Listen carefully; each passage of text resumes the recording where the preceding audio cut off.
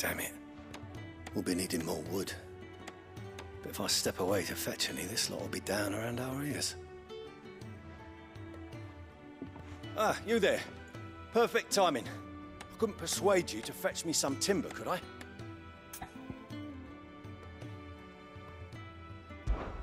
I'd be happy to. Oh, thank you. You'll be helping me and the hideaway both. Takes a lot of work to keep this place standing. More than we can manage, if I'm honest. It certainly looks like you've got your hands full. Ah, you can say that again. The Fallen knew their craft, make no mistake, but not even their handiwork lasts forever. That's why the walls need shoring up. Can't have the uh, vegetable patch crushed before our first harvest now, can we? No, I suppose not. All right, where can I find this wood? Ask over at the White Ads. They'll point you in the right direction. Thanks again. I really appreciate the help.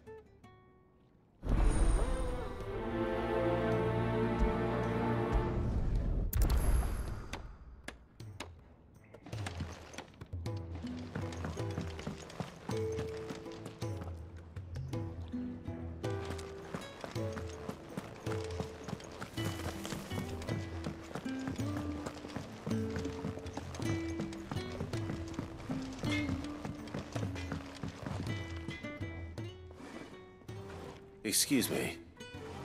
The man working over by the garden sent me to fetch some wood. Ah, that'll be Geoffrey, Master Carpenter.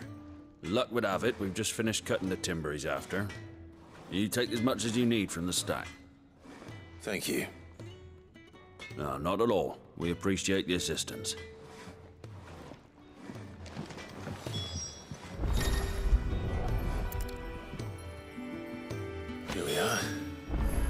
Better get this to... Jeffrey, was it?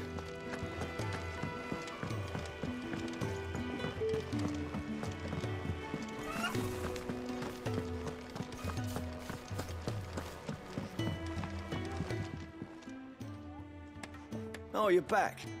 Hope fetching that wood wasn't too much trouble.